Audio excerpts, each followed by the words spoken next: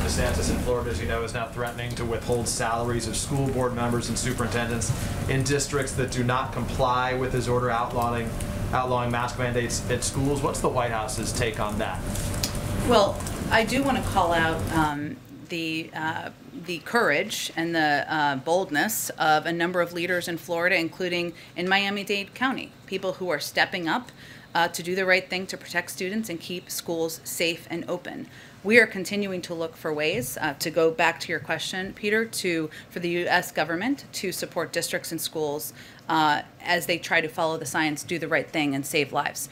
I would note what is publicly available and knowable is that the American Rescue Plan funds that were distributed to Florida to provide assistance to schools have not yet been distributed from the state level. So the question is, why not? Uh, and those can be used uh, to cover expenses that come up in this period of time. They're federal funds, uh, and they are at not under they're under federal discretion. So they just need to be distributed to these schools. We're looking into what's possible.